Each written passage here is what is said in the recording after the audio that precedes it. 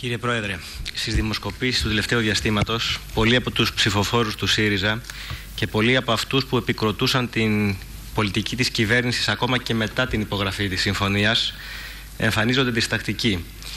Μήπως ο κόσμος δεν έχει καταλάβει ή δεν συμφωνεί με το δήλωμα των εκλογών όπως εσείς το θέτετε, δηλαδή την επιλογή μεταξύ παλιού και νέου πολιτικού συστήματος; Κύριε Κλαβιανέ, νομίζω ότι είναι λογικό να υπάρχει μια διστακτικότητα και μια μηχανία σε ένα μέρος του εκλογικού σώματος. Και μην παραβλέπετε το γεγονός ότι οδηγηθήκαμε σε αυτές τις εκλογές επειδή αποφάσισε μια μερίδα βουλευτών του ΣΥΡΙΖΑ να καταψηφίσει την κυβέρνηση και να αρνηθεί ψήφο εμπιστοσύνης. Και σχεδόν να ετοιμάσει πριν ολοκληρωθούν οι διαδικασίες στη Βουλή ένα άλλο κόμμα. Είναι λογικό να υπάρχει μια μηχανία στους ε, ψηφοφόρους του ΣΥΡΙΖΑ.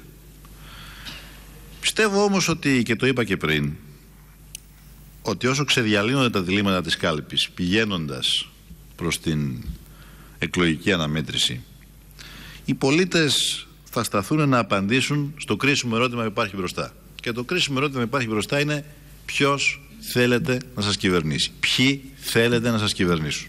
Με ποιες πολιτικές, με ποιες στοχεύσεις, με ποια προγράμματα, με ποιες προθέσεις. Και οι συγκρίσεις θα είναι αναπόφευκτες νομίζω. Συνεπώς, από τη στιγμή που βλέπουμε ότι η Νέα Δημοκρατία σήμερα και μπράβο του κ. Μεϊμαράκη έχει καταφέρει να συσπυρώσει το κόμμα του.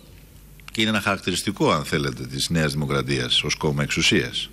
Ότι μπορεί να γίνονται μαλλιά κουβάρια όλο το προηγούμενο διάστημα, αλλά μόλις φτάσει μπροστά στην κάλπη, όλοι ξαφνικά η προοπτική της εξουσίας όλους τους συνενώνει. Το αντίθετο από την αριστερά, όπου η προοπτική της εξουσίας σε κάποιους δημιουργεί αναφυλαξία.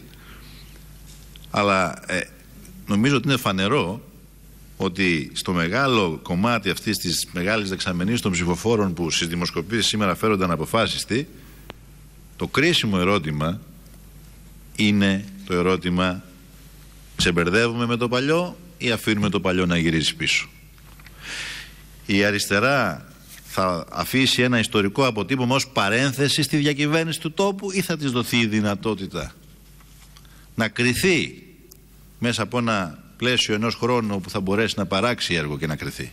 Αυτό είναι το κρίσιμο ερώτημα.